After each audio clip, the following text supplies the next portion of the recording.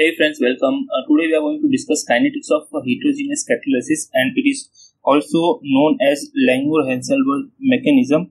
Uh, so basically uh, this theory was uh, proposed or this theory was given together by Langmuir and Hinshelwood and hence it is known as uh, Langmuir-Hinshelwood mechanism. We know that several gaseous reactions of industrial importance are taking place in gaseous state and over there solid state catalysts are used. So in case of heterogeneous catalyst, catalyst and the substrate or catalyst and the reactants, they are in different phase and hence it is known as uh, heterogeneous catalysis. And Langmuir and Hinshelwood for a gaseous reaction taking place on the surface of catalyst they suggested a following elementary step that is a few elementary steps are followed by every heterogeneous catalytic reaction. And these are first step is the diffusion of first step is the diffusion of the reactant that is a reactant gas molecule. If it is lying anywhere then it will come near the catalyst or uh, near the yes, near the solid catalyst.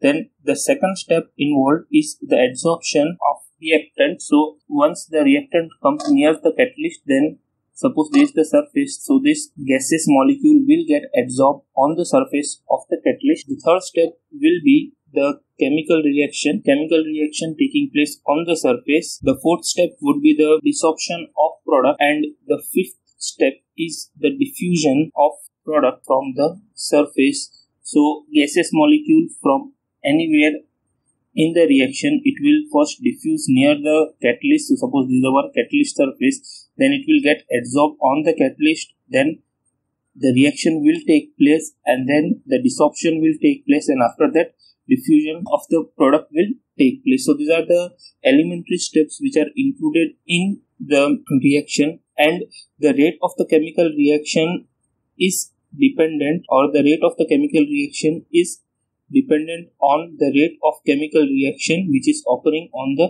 surface that is how the reaction is taking place and depending on the chemical reaction of the surface the rate of any particular heterogeneous catalytic reaction is being determined. So basically as we are seeing that either unimolecular reactions are also possible and bimolecular reactions are also possible. So both the types of catalysis or kinetics of unimolecular surface reaction is also possible and bimolecular surface reaction is also possible. So in this particular lecture we will be discussing the kinetics of the surface or unimolecular surface reaction and in next lecture we will be discussing kinetics of bimolecular surface reaction. So first we are going to discuss the kinetics of a unimolecular surface reaction. Now as we know that a unimolecular reaction will contain only a single reactant. So suppose if we consider that A is our reactant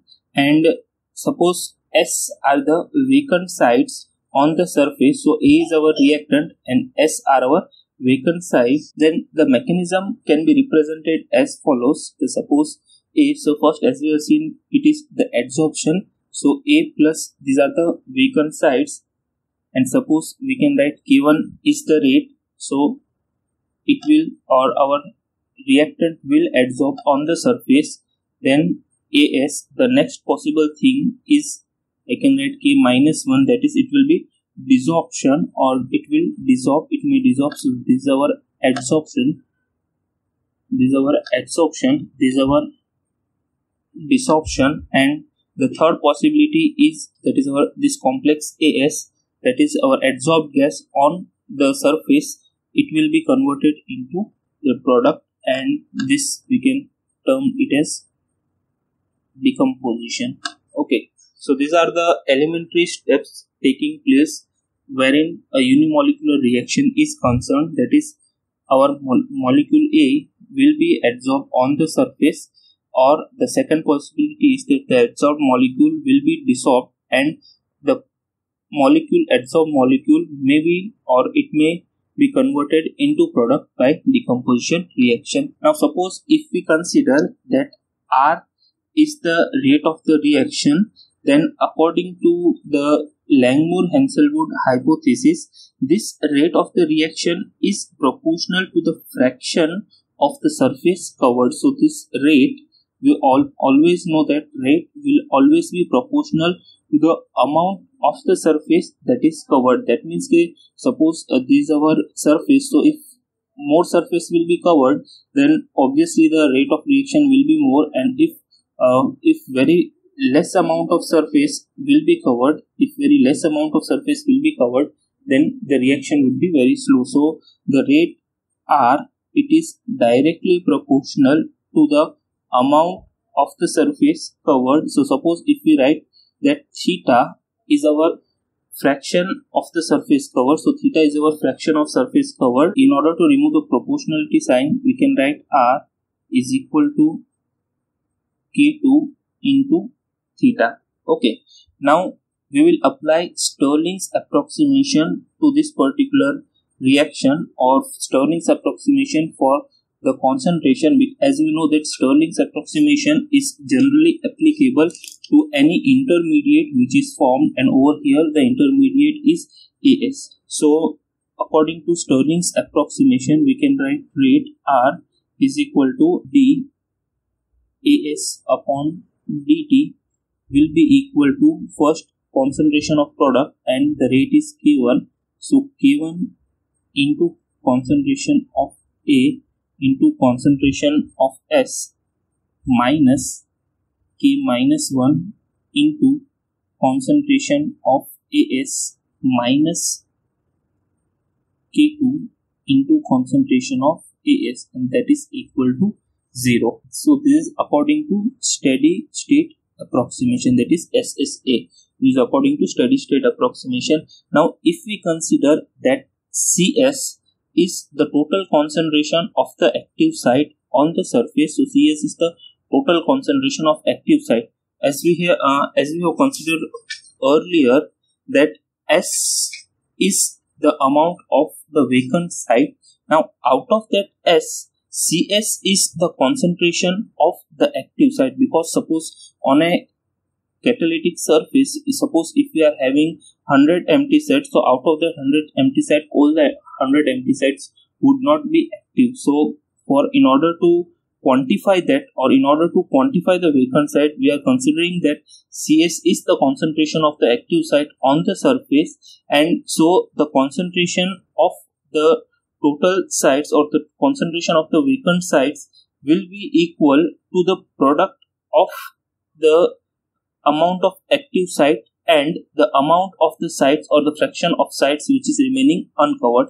And as we know that theta is the fraction of site so we can write 1 minus theta will be the amount of site which are remaining uncovered. So 1 minus theta because if whole surface is covered then it will be total will be 1 so out of 1 minus theta so it will give us the amount of uncovered. So the total concentration that is S is given by CS that is active site or the product of the uh, total concentration of the active site into the amount of the uncovered site. So this will give us the uh, the concentration of S and we can now rearrange this particular relationship rearrange this relationship and hence we can get uh, we will rearrange this relationship in the form of concentration of AS. So both these terms I can take on right hand side then concentration of AS will come out common and then both these terms will be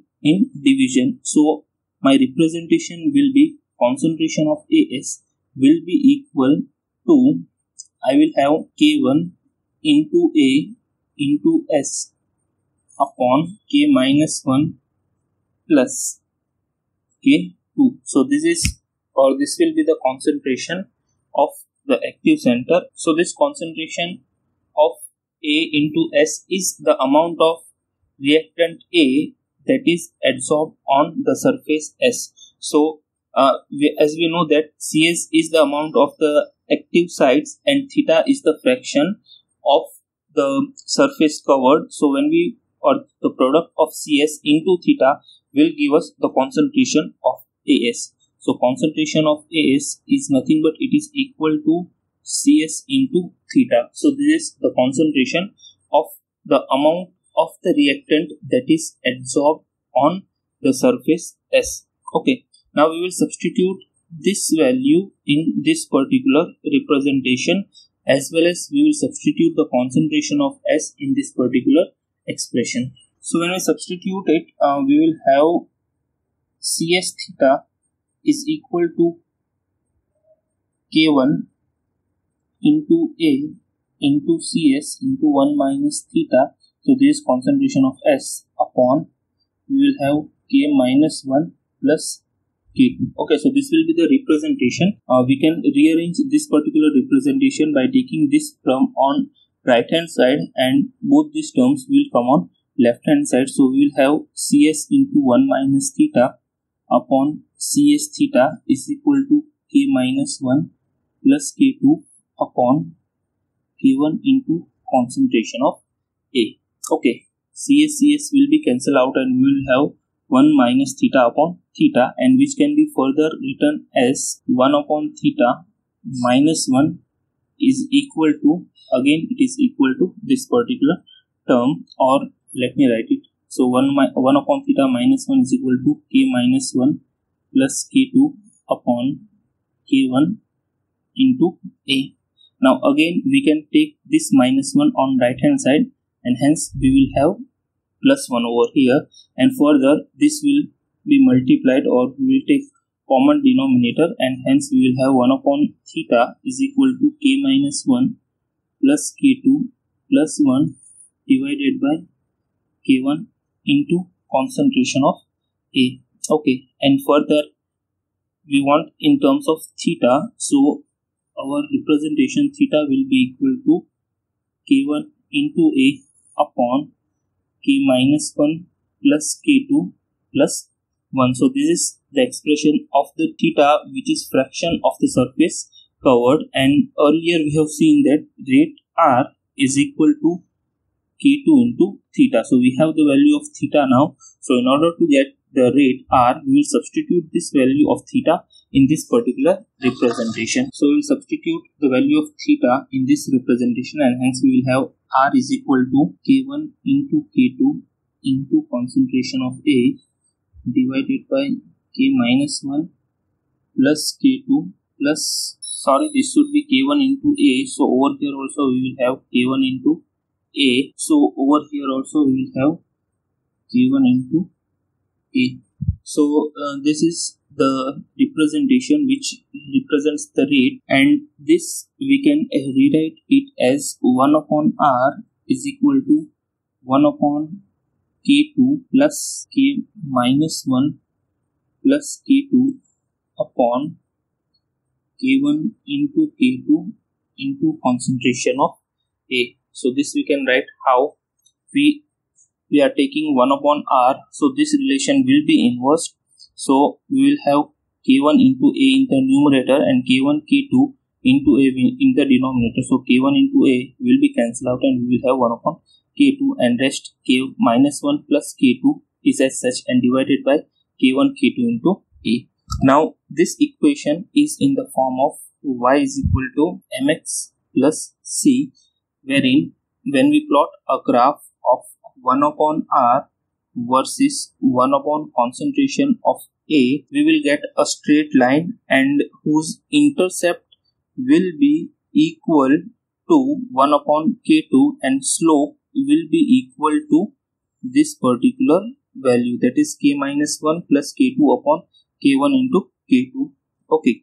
And as we all know that we are using gas over here so as we all know that we are using gas over here. Over here concentration could be replaced by partial pressure PA because as we know that for gas we are measuring the quantity or we are measuring the concentration in terms of partial pressure and hence the representation will take the form R is equal to K1 into K2 into PA upon K minus 1 plus K2 plus K1 into PA where PA is the partial pressure of our reactant A.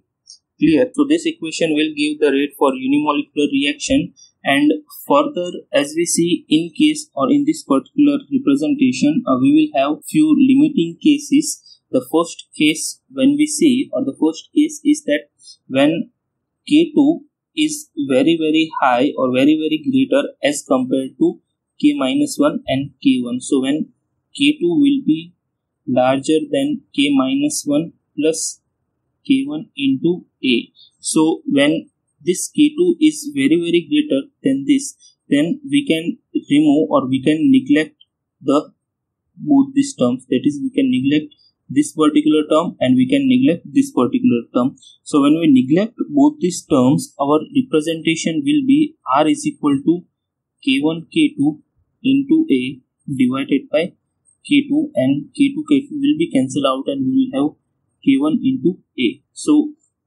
k1 into a so hence we can say that rate is first order with respect to the concentration. Okay over here rate is first order with respect to the concentration. In second case when we write it k2 is very very smaller than k1 into a plus k minus 1 then over here in this representation we can neglect k2 and we will have both these terms. So our representation r would be equal to k1 k2 into a divided by k1 into a plus k minus 1 and further we can divide whole equation by k minus 1 so this will be k minus 1 this k minus 1 and this also would be divided by k minus 1 and we can take capital K that is equal to k1 upon k minus 1 and hence our representation will be capital K into k2 into a divided by we will have capital K into a plus 1 so this will be the representation. And this that is k1 upon k minus or capital K is equal to K1 upon K minus. This is known as adsorption equilibrium. Adsorption equilibrium constant. This is known as adsorption equilibrium constant. And further, this representation we can write it in the form of K2 into K PA upon K PA plus 1 where we know that PA are the partial pressures of the reactant. Now, depending upon the pressure, two situation arises. That first situation is at low pressure. At low pressure, we know that theta will almost be equal to 0 and when theta is equal to 0, we know that kPa will be very very less than 1. So when kPa is very very less than 1, then the denominator over here can be neglected and hence R will be equal to K2 into K into PA. So hence we can write it as or hence we can say that both these terms are constant. So at very low pressure the rate is first order with respect to the concentration of the reactant A. So it is first order with respect to the concentration of reactant A and the second case is when the pressure is very very high. So at when pressure is very very high theta is almost equal to 1 and hence we can write that kPa is very very greater than 1 so under such case we can omit this one over here and kPa kPa will be cancelled out and we will be left only with uh, we will be left only with r k2 so hence at high pressure we can say that so this is the case when we have high pressure. So at high pressure we can say that the reaction is independent or the reaction is zero order with respect to it is zero order with respect to concentration of a. Okay so hence uh, with the help hence we can uh, so this all about um, the kinetics of unimolecular reaction and some typical examples of unimolecular surface reactions are decomposition of N2O on gold, decomposition of N2O on gold or ammonia on molybdenum and hydrogen iodide that is HI on platinum surface. So these are the some of the examples of unimolecular decomposition reaction. Hope the derivation and explanation was clear. Thank you very much.